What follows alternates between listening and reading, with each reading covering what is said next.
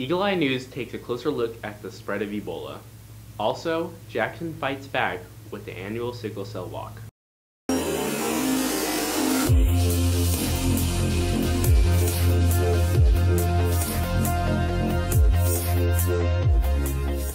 Welcome to Eagle Eye News. I'm Jonathan Taylor. Melanie and Kelly are out. With the rise of technology, computers are becoming more and more prevalent in our society, which is taking an a toll on older faculty and students. I had the privilege to go on the field and find out more about this story. It seems like the patients at Tougaloo College are struggling with technology, especially the faculty. Jim Brown, a history professor, tells us how he was introduced to computers. During the 1980s, I became aware that there were these things out there called computers. And Tougaloo began inviting us, but it was very optional, to attend seminars at places. I remember one of them was at Xavier University in New Orleans, and it had something to do with COBOL language, early computer languages. And I was very slow because I'd been here all these years and I teach history, which deals with the past. I was very slow to pick up on how important computers were becoming. He also mentions that he was helped by other faculty to learn the basics of handling a computer. To Sharon Streeter, to, with, to whom I'm eternally grateful, that she kind of jump started me. You'd have to ask her when this was, late 80s probably.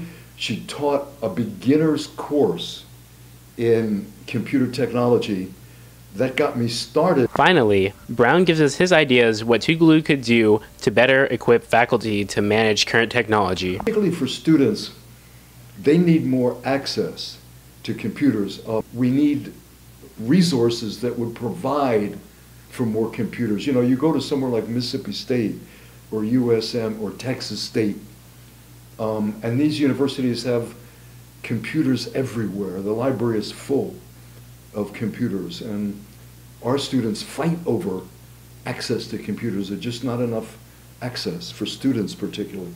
This is Jonathan Taylor, Channel 19, Eagle Eye News.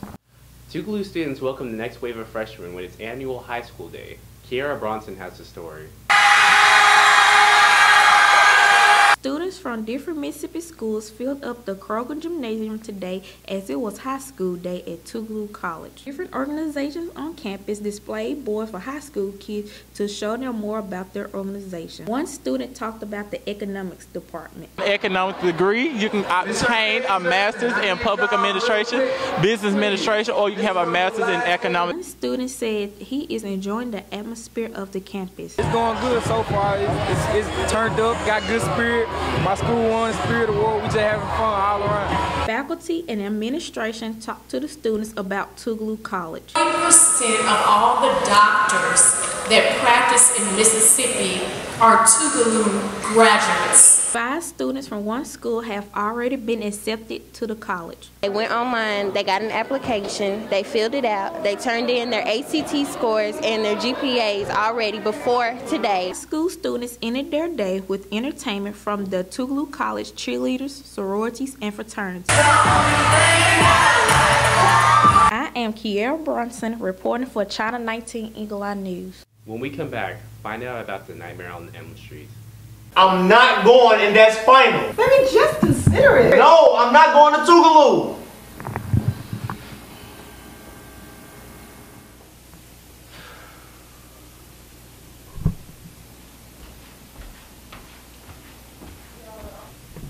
Hey, what's going on? Your mother just called me over here. It's nothing. It's just I don't want to go to Tougaloo. Well, what's your reason? I don't want to go to a small college, and plus, I heard it's boring. So basically, you don't know anything about Tougaloo. I mean, pretty much. Although Tougaloo is a small school, it's family oriented. Everyone knows everyone. The classes are smaller, which means it's easier to get to know your teachers. The graduation rate is good. The athletic department, exceptional. Plus, I heard the college doc is good too. Well, I mean, I guess I just need a little bit more time to think. Well, if it's any motivation in you, I'm going. Okay. Yeah. Guess what, Ma? What? I'm going to Tougaloo. Yes! So proud of you. Welcome back to Eagle Eye News.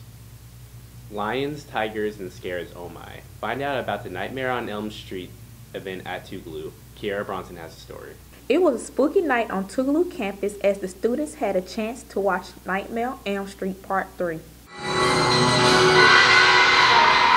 Actor Ken Sagoes came to talk about how he was the first African American to survive a horror film when he was in Part 3 of the series. Never been done before, with the exception of the 1970s, there was a movie called Dracula. Sagoes was invited by a student who was inspired by him. I got in contact with Mr. Ken Sagoes when I was back home in Los Angeles, and I did a show for him, a musical review, and I played three characters. The night was filled with entertainment with a monologue and singing. I refuse to allow my children to witness divorce or make mature decisions in court. Sagoes did a Q&A session with the audience after they watched the movie. How was it back then uh, as a black actor?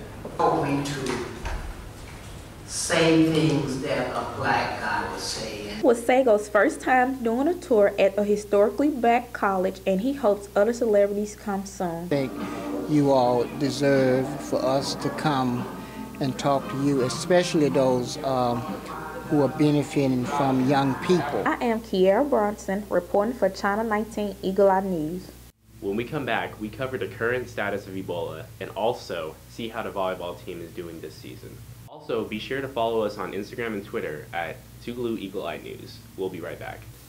Hey Jim. Hey Bob. Crazy weather we're having. Yeah. Hey, uh, when's the next test? Let's coordinate. Um, how's Thursday? Thursday's perfect. You know what? I'm gonna give them a test too, and I'll make it worth 20% of their overall grade. Nah, make it 30. You think 30's better? Yeah, you gotta make it just for these kids. Give them a taste of what it's like in the real world.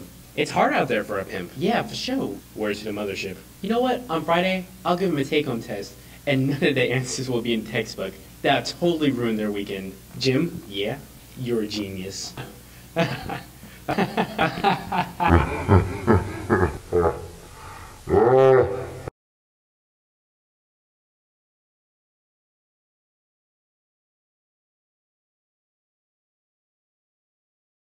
Ebola has been shaking the world as it claims more victims each and every day. But how's it spread? What's the status of the disease? Noah Hale has the story. Amongst the students of Tougaloo College, many have heard about the Ebola virus. But does anyone know what it really is or where it came from? One student gives their thoughts. He's named the Ebola River near there. That's why they call it Ebola. The Ebola virus, a disease that recently originated in the Democratic Republic of Congo, also known as Ebola hemorrhagic fever, or simply Ebola, is a disease of humans and other animals caused by the Ebola virus. Disease that's rampant. Well, it's not even rampant. It's just a disease that it's it's a very incurable disease. You know, originating from West Africa. We have a couple of cases in the U.S. You know, other countries have some. You know, they have some reported cases also. So Ebola to me is a disease. With flu season here, many theories amongst the students of Tougaloo College have risen about the Ebola virus. Mm, yeah, there's a lot of there's just a lot of fear mongering. Um, people aren't, you know, well educated about the disease, so they really do not know what's going on. Um, people do not do any reading. Basically, people, you know, use, you know, a unreliable source of media to uh, keep track of the disease. You know, they probably use Instagram. This new virus is acquired by contacting with blood or any other bodily fluids of an infected human or other animals. You get Ebola from certain things. You get Ebola from body fluids, from a person who is sick with or has died from Ebola. You can get Ebola from objects that are contaminated with the virus, and you can get Ebola from infected animals. Over time, hopefully, many of the students at Tougaloo College will prepare and understand the severity of the Ebola virus. This is Noah Hale, signing out. Channel 19 News, Eagle Eye. Jackson fights sickle cell anemia one step at a time with its annual cell walk. Kiara Bronson has the story. People from Jackson and surrounding areas gathered at Jackson State today to walk for sickle cell. This is the ninth year this event has been going on as a part of Mississippi Greek Weekend. Uh, 5K is about raising awareness around uh, sickle cell anemia and disease, and then also raising money for uh, finding a cure. One group from Jackson called the Lady Warriors came to this event to support Derek James or DJ who has sickle cell. He was diagnosed shortly after birth. We've been doing this since 2007 just to show awareness. Jackson Mayor Tony Yarber was named ambassador for Cure Sickle Cell Foundation before the walk began. This is a disease that will have a cure. This is a disease that will uh, that will no longer affect our children the way that it has been. Chief of Police Lee Vance also came to support this sickle cell event. To get these many people out for an event on a football Sunday afternoon, which tells me that Jacksonians and Jackson State University have their priorities right. The 5K walk started and ended at the Walter Payton Center. Kiara Bronson reporting for Channel 19 News. Finally, we look at the Tougaloo girls volleyball status. Noah Hill has the story. With the start of the new volleyball season, the Lady Bulldogs are off to a moderate start. With a current 1 to 6 record, upperclassman Jana Williams explains the chemistry of the newly formed team. It, it, has its pros and its cons. I would say a pro would be that it's a new team. We have something new to build off of, and then um, we can all just bond together. But as far as it being a, a problem, it's just everybody could be the best from their team, and they have to compensate with coming from being the best. So you know, we all have to blend in together to be one team.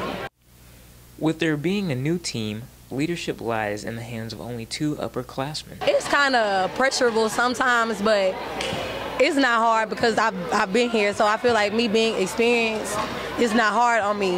It's easy to me for me to go out there and do my job and encourage other people to come and do what I do or do better than me.